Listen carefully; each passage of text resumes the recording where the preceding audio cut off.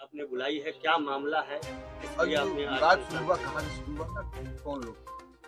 ये दुखद घटना है जिस प्रकार से स्वामी प्रसाद मौर्य सनातन धर्म संस्कृति पे हमला कर रहे हैं साधु संतों को गाली दे रहे हैं रामचरित मानस को गाली दे रहे हैं रामचरित मानस जलाने की बार बार धमकी दे रहे हैं रामचरित मानस को बैन करने की धमकी दे रहे हैं ये दुखद है निंदनीय है।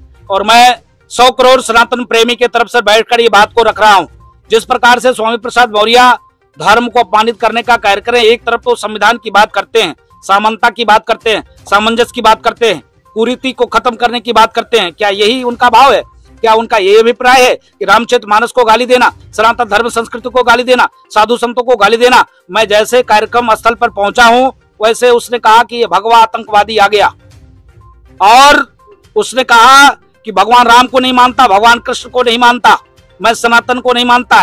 ये सनातनी जहर फैलाते हैं विष घोलते हैं समाज को बांटने का काम करते हैं। पकड़ो मारो इसने मेरे ऊपर मारने के लिए 21 लाख का इनाम रखा है यही राजू दास है। इसको पकड़ो इसकी हत्या कर देते हैं। ये स्वामी प्रसाद मौर्य ने कहा है।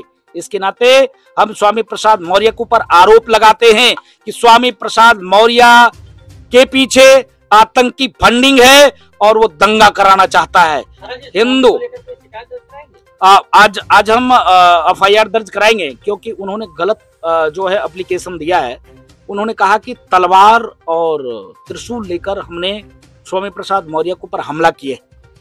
आप वीडियो में देख सकते हो कौन किसके ऊपर हमला किया है।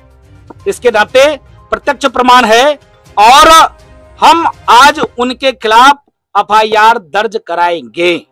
क्या मुख्यमंत्री जी से भी मुलाकात करके